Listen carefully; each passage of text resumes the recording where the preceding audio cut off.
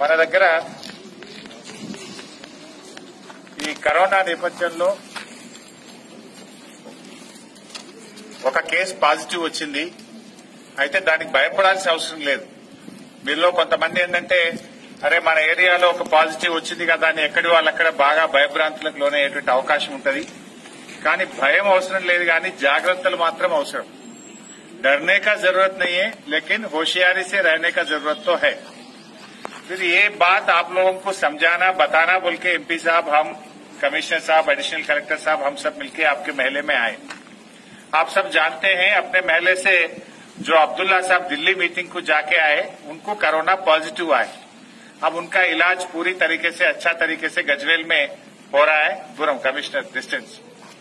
उनका पूरा इलाज सरकार के तरफ़ से हम डे टू डे मॉनिटर कर रहे वो अच्छा हो जाएगा। आप भी जानते हैं, अभी तक कोरोना पॉजिटिव आने के केसेस में जो जल्दी दवाखाने पे गए, अभी तक 25 लोग उनका सेहत अच्छा होके फिर घर वापस आ गए। सो जो पहले आपको डिटेक्ट हो सकते हैं, आप बता सकते हैं, हम उनके लिए ट्रीटमेंट मिल सकता है, वो फिर अच्छा होके घर पे आ जाएँगे। अगर से आप लोग नहीं बताए तो क्या होता?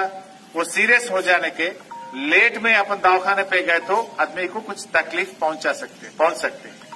इस वास्ते हम आप सबसे रिक्वेस्ट यही करना चाहते हैं, थोड़ा होशियारी से रहना।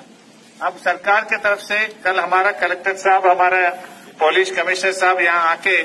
पूरा जो बंदोबस्त काम करना है, वो पूरा कर चुके हैं। अब गजवेल में देखिए, एक मेडिकल टीम एक 18 मेडिकल टीम डाले अपने महले में जो अब्दुल्ला के घर ये एरिया में जितने भी वो आइडेंटिफिकेशन करे हैं, वो 500 घरों को चेक करके उन लोगों में कुछ बुखार है, कुछ पॉजिटिव इंडिकेशन है, और पूरा जितना भी प्रिकॉशंस लेना है, उसके लिए एक 18 टीम बना के ये 500 घर घर फिर रहे हैं। आपसे हम यही रिक्वेस्ट करते जो अपने डॉक्टर और अपने staff nurse ASHA worker ANM आपके घर पे आए तो आप जरा उन लोगों को पूरा మద్దతు కరో వాళ్ళకి చెప్పాలి అన్ని విషయాలు కూడా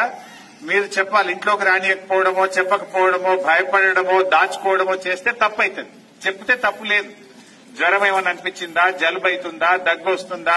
మీకేమైనా ఇబ్బంది ఉందా అనేటువంటి విషయాన్ని డాక్టర్లు స్టాఫ్ నర్సులు ఏఎన్ఎంలు వచ్చినప్పుడు